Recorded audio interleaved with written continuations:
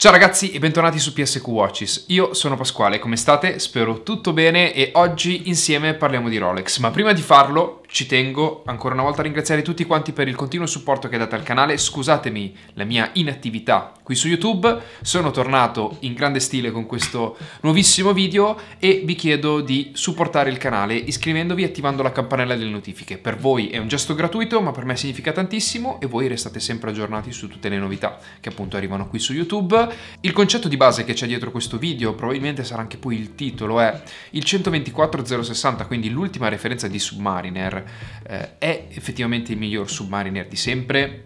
Io credo che da tantissime prospettive questo orologio si possa definire il miglior Submariner di sempre.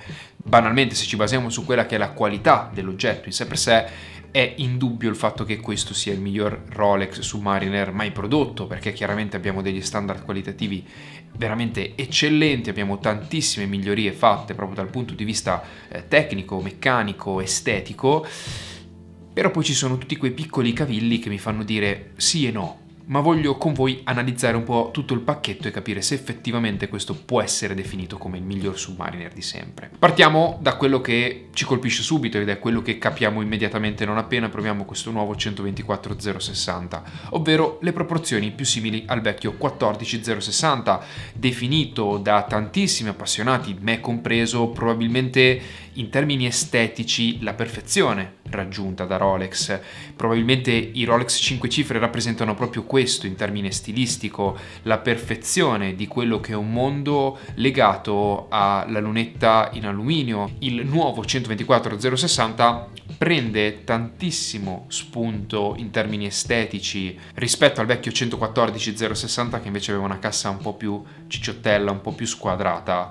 Eh, qui ritroviamo una cassa più snella, più filante, più simile a quelle che erano appunto le proporzioni del 14-060, ma indubbiamente abbiamo delle dimensioni un po' più abbondanti, abbiamo un'estetica generale, eh, potremmo definirla così, maxata in tutto e per tutto, quindi dalla corona, dalla ghiera, dagli eh, indici, le sfere, il bracciale, tutto più grande, però mantenendo quelle proporzioni. Continuando a parlare di quello che è il design dell'orologio, è importante fare un appunto su quella che è la storia. Sono due aspetti strettamente collegati tra di loro perché secondo me la chiave di vittoria e di lettura che dobbiamo dare a questo orologio è il fatto che nonostante siano cambiate le epoche, le mode e siano cambiati i gusti delle persone, questo orologio è rimasto praticamente identico dalla sua nascita. Dal 1953 questo orologio è sempre rimasto fedele a se stesso. Ha seguito e ha avuto delle mutazioni, dei cambiamenti nel corso degli anni, ma praticamente Rolex ha sempre offerto lo stesso design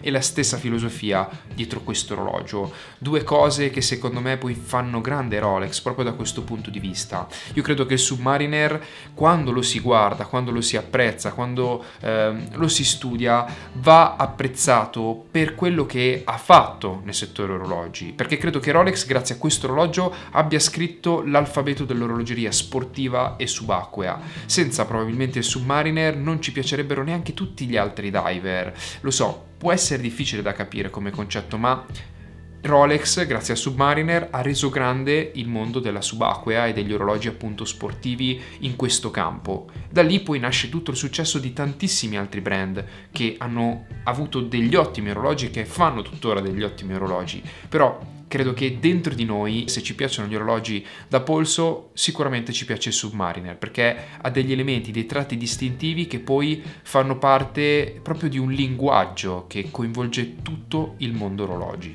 L'altro aspetto sicuramente che mi fa riflettere sulla questione miglior diver di sempre o comunque miglior Rolex Submariner di sempre è la qualità che è imbattibile. Credo che Rolex anche da questo punto di vista faccia scuola a tantissimi altri marchi. Il prodotto, per quanto sia effettivamente costoso e inflazionato, perché parliamo quasi di 9.000 euro di listino, se non addirittura di più, ha un prezzo veramente importante, però racchiude dentro di sé una qualità, ma specie nel bracciale, ragazzi, i bracciali Rolex della nuova generazione di Rolex sembrano essere dei bracciali integrati, cioè sembrano degli orologi a bracciale integrato, proprio per la costruzione solida, la, la, solidità che ti danno sul polso. Nessun altro brand, almeno dal mio punto di vista o per quella che è stata la mia percezione, riesce ad offrirti la medesima sensazione quando si tratta di diver trovo l'orologio estremamente bilanciato, proprio come se fosse un orologio a bracciale integrato. Ma arriviamo a quello che poi è il mio grande dubbio ed è il motivo per il quale poi ho fatto questo video ed è l'aspetto della vistosità sul polso, il fatto che sia un orologio così tanto appariscente, il fatto che perda un po' quel concetto che invece secondo me racchiudevano perfettamente 5513 e 14060, le mie due referenze preferite di Submariner e se dovessi sceglierne una piccolo spoiler, se proprio potessi permettermelo, sceglierei un 55-13 bicchierini. Per me è l'eleganza in termini di Submariner, la dimensione perfetta, il vetro plexi, poi si sposa alla perfezione con quello che è il quadrante glossy. Per me è un'unione perfetta di cose, 55-13 bicchierini. Quindi per me quello è il Submariner per eccellenza. Questo effettivamente ha il difetto che ha tutta la Rolex di oggi, ovvero il fatto che sia troppo appariscente, troppo effettivamente vistoso, però secondo me il Submariner rispetto allo Sprite, al Batman, al Root Beer, al Pepsi è molto più eh, diciamo sottotono, quindi riesce un pochettino a conservare il suo design originale. Quindi paradossalmente eh, possiamo ritrovare all'interno di tutto il catalogo Rolex sportivo professionale l'unico vero orologio diciamo che continua a mantenere viva questa sua anima è proprio il 124060. Detto questo ragazzi fatemi sapere voi sotto nei commenti che cosa ne pensate. Secondo voi qual è il Submariner migliore di sempre? Datemi dei pro e dei contro di ogni referenza che appunto vi piace di Submariner, motivatemi un pochettino la vostra risposta e parliamone qui sotto nei commenti. Ringrazio il mio amico Roberto per avermi prestato questo orologio per la realizzazione di questo video e soprattutto gli faccio gli auguri perché lui l'ha appena ritirato qualche mese fa, quindi tantissimi auguri, beato te. E detto questo ragazzi, noi ci vediamo ad un prossimo video. Spero che questo video vi sia piaciuto, spero che le mie immagini vi facciano come sempre sognare di indossare gli orologi che vedete in video e noi ci vediamo ad un prossimo contenuto qui su YouTube e su Instagram se vi va seguitemi chiocciola PSQ Watches dove pubblico tantissimi contenuti, quindi andate anche lì a vedere tutto quanto. Ciao ciao!